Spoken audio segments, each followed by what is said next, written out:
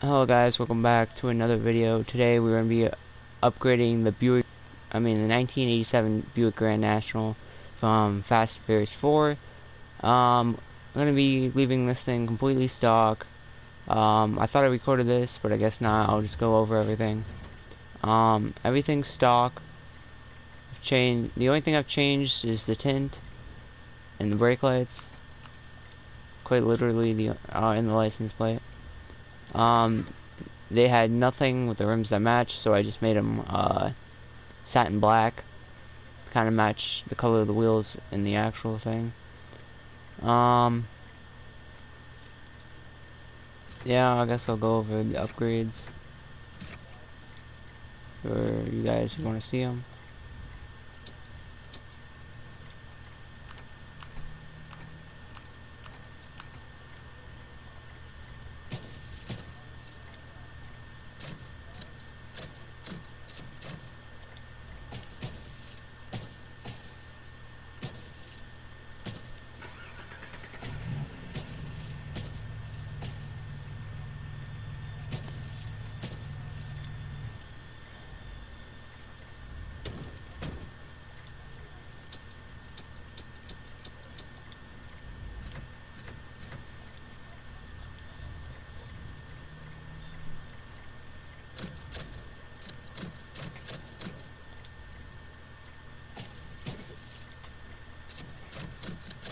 I have to change the bumper.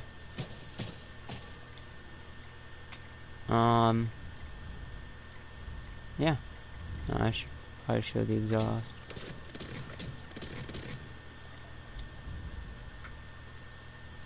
I also dropped the car a bit.